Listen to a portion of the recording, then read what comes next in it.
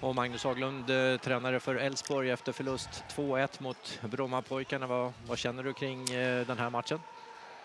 Ja, det är klart att vi är väldigt besvikna nu att vi, att vi förlorar matchen. Vi började, den, eh, började väldigt bra. Första halvtimmen är otroligt bra för vår sida. Sen jämnas matchbilden ut och sen är det en, är det en ganska jämn match eh, sista timmen i matchen och den, eh, lyckades Brommapojkarna ta vara på det och eh, avgöra till sin fördel. Mm, tre veckor kvar nu till allsvenskan. Nu blir det inget mer cupäventyr för er del. Hur ser du på det som är kvar nu innan allsvenskan börjar? Vad- Ja, vi får jobba på. Vi får bara jobba på. Det, är vi och eh, försöka utveckla alla delar. Så är det.